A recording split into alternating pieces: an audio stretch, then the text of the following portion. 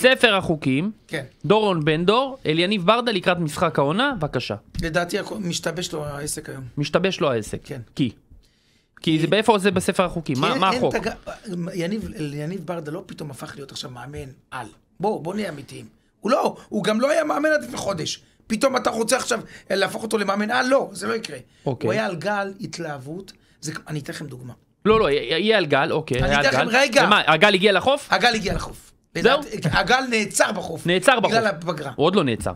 הוא ייעצר בחוף? תקשיב מה שאני אומר לך. הוא אומר שנעצר בגלל הפגרה. בגלל הפגרה עצרה לו את הגל. שובר גלים, הפגרה.